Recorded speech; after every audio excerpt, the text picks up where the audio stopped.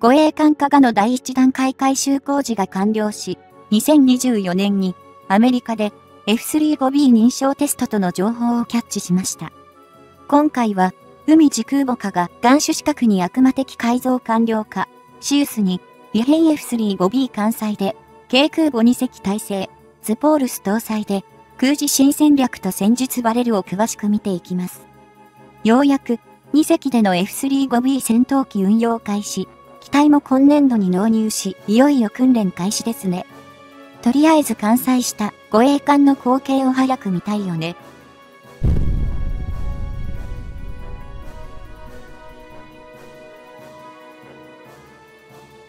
島国である日本にとって、その防衛を考える上で、大きな比重を持つと思われるのは、やはり何と言っても海上自衛隊の存在であり、その装備の能力と数が、有事の際の成り行きを左右する存在となると言ってよいだろう。2023年末の時点でも、現在の日本の岸田政権は、かなり低水準の支持率へと下降し、その先行きを危ぶむ声も日増しに高まっている感は拭えないが、ことに、防衛費の拡充という点に限っては存在感を示しているように見える。日本の2024年度の防衛予算案は、総額で7兆9496億円となることが、昨年末に閣議において決定され、2023年度から2027年度までの5年間の累計でおよそ43兆円規模に拡大するという公約を実現すべく着実に増加を果たしている。そうした中で海上自衛隊の大型の装備品といえば無論のこと各種の艦艇となるわけだが心臓艦としてハモが味型護衛艦艦種記号 FFM12 隻の建造やその改良版のさらに10隻の建造が予定されている状況である。また、2024年現在で、総数で8隻を保有、運用しているイージス護衛艦も、2027年度の防衛予算案の中で、2隻の造成を行うことが決まり、同艦種を10隻体制とする強化策が、予算の上からも進められる状況となっている。加えて、これらのイージス護衛艦とは別に、同じく、イージス戦闘システムを搭載する艦艇ながら、かつて、導入の中止が決められた陸上配備型のイージス・アショアを代替する目的で、イージスシステム搭載艦も2隻の新造が打ち出されている。また、日本の海上自衛隊における主戦力たる潜水艦は、数こそ、現状の22隻体制から変更はないものの、従来の 533mm 魚雷発射艦6門を主兵装とするもの以外に、実証実験艦として VLS 垂直発射艦を装備する艦艇の建造が盛り込まれている。これは、秘匿性が高い潜水艦に、主として対地攻撃用の巡航ミサイルを搭載し、反撃能力としての選択肢を増加させるとともに抑止力を向上させる狙いがあるとみられ、今後の注目の装備品とみて間違いないだろう。こうした心臓艦以外にも、海上自衛隊では既存の艦艇の改修も進めており、その中心と言えるのが、出雲型ヘリコプター搭載護衛艦艦種記号 DDH2 隻の航空母艦化改修工事の実施であることは、周知の事実となっている。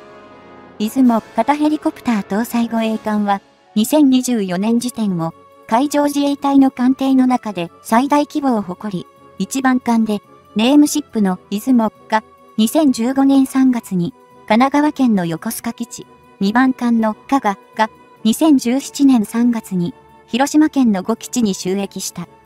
海上自衛隊において、艦種記号、DDH が付与された艦艇としては、最初に春名型、2番目に白根型、3番目に日向型、そして4番目が出雲型と、すでに4世代目となっているが、前者の2艦と後者の2艦とでは、大きく艦用が異なっている。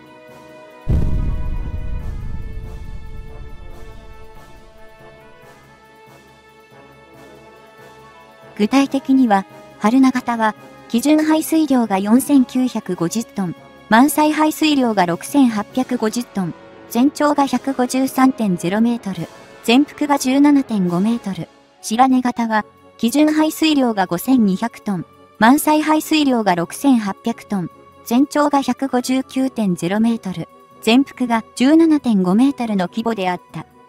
春名型、白根型ともに艦式号、DDH とはいうものの、回転翼機の運用は、完備に設置された飛行甲板で実施され、最大で回転翼機を3機まで搭載可能だが、これらの同時離発着は、できず、1機ずつの運用を行う形式であった。そのため、今現在は、春名型、白根型ともに、すでに退役となっているが、その見た目は、当時の汎用護衛艦、艦種記号、DD の延長線上にあり、完備の飛行甲板部分がかろうじて拡大されているとでも言うべきデザインだった。これが大きく改められたのが、3番目の艦種記号、DDH のヒューが型からであり、同艦は、基準排水量が13,950トン、満載排水量が1万9000トン、全長が197.0メートル、全幅が33.0メートルと艦隊の規模も一気に大型化し、全通式の飛行甲板を装備するに至った。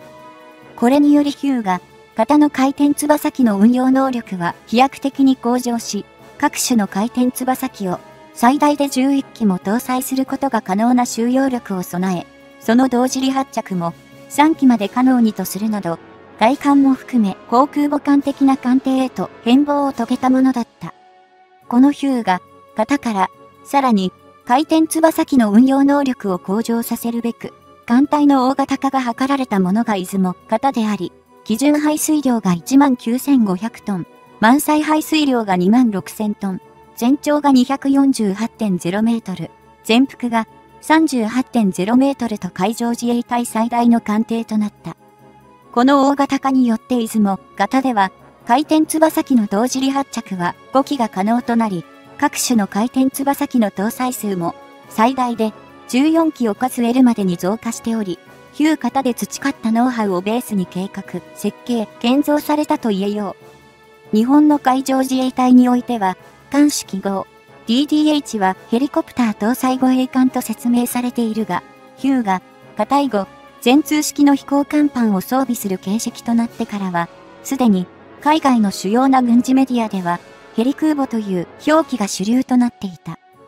現在、進行形で、進む出雲型2隻の大きく分けて、2度にわたって実施される改修工事については、名実ともに航空母艦化という表現が解禁された感があるが、この航空母艦という位置づけも、政治的な配慮から長らく避けられていたことは記憶に新しい。今では、日本にとっての最大の仮想敵国となった中国が南西諸島方面をはじめ、大幅に増強した海軍戦力をもって、現実的な脅威となったことから、出雲型ヘリコプター搭載護衛艦の航空母艦化改修も、国民のコンセンサスを得た形と言えるだろう。出雲型ヘリコプター搭載護衛艦は、2番艦加賀が先行して、最も大掛かりな飛行甲板の拡幅工事を2023年までに終え、今年2024年からは、一番艦の出雲が同様の工事着手される予定となっている。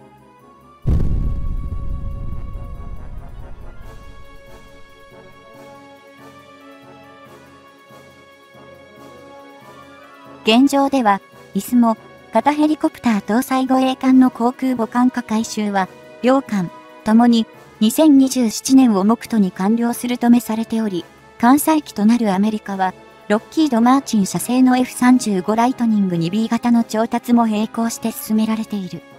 出雲型ヘリコプター搭載護衛艦の艦載機となる F35 ライトニング 2B 型は、42機の調達を行う方向で予算化が行われているが、同機の所属自体は、航空自衛隊の管轄となり、中期基地は、宮崎県の新田原基地が内定している。航空母艦化改修を終えた出雲型ヘリコプター搭載護衛艦は F35 ライトニング 2B 型を機内に10機前後収容するものとめされており、この数では正直航空母艦というには、いささか戦力としては限定的だとの指摘も多い。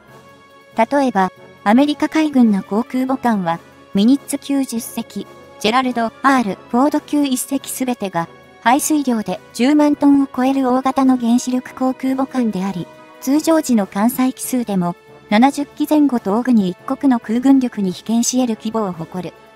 また、最大の仮想敵国となった中国も、最初の練習用の航空母艦である遼寧でも30機以上、2番目の山東では40機以上、3番目の福建ではさらに、艦載機の搭載数を増加させることが確実視されている。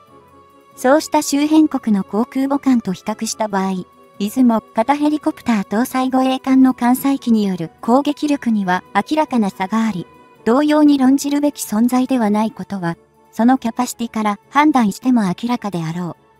そのためいつも型ヘリコプター搭載護衛艦の航空母艦化改修が完了した後には、日本版の空母打撃群の編成云々を論じる言説も一部からは発せられているが、そのような遠征を前提とした戦力と見るには無理があると感じられる。